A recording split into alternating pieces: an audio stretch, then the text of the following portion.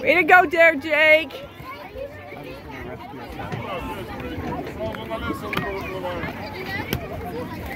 Sean to the rescue to help this lady find her sandal. Her little flip-flop.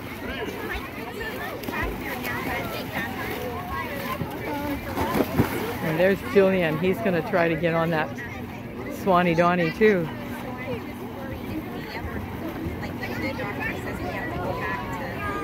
Oh yeah, it's to be tough. Jake's not to let him get on it. I'm to get over here because they're jiggling this dock. Something fierce. I'm to take a, a leap forward.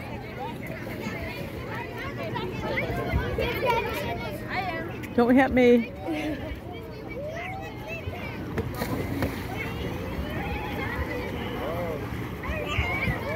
Here they come, the big mariners. And Jake's going to be going on a, on a sailboat in September to the Panama and on the uh, Gulf side. So it's a big experience. So here he is getting practice being on water, floating. But he's floating in a totally different craft. Well, you got to start somewhere, don't you? There they go.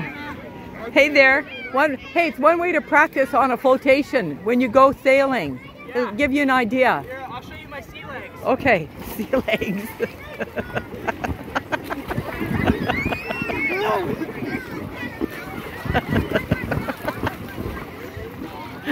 Watch out for the little ones. hey, that was the best. Watch my sea legs, he says. That was very good, Jake. Uh, you're ready. You're ready to go sailing now. You passed the test.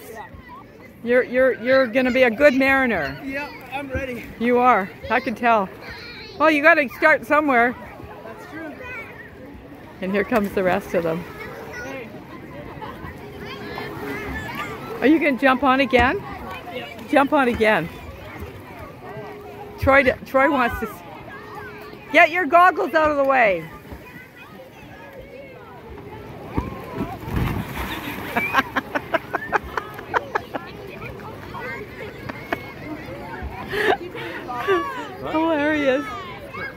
Oh gosh, I could never do that, but I'd like to try.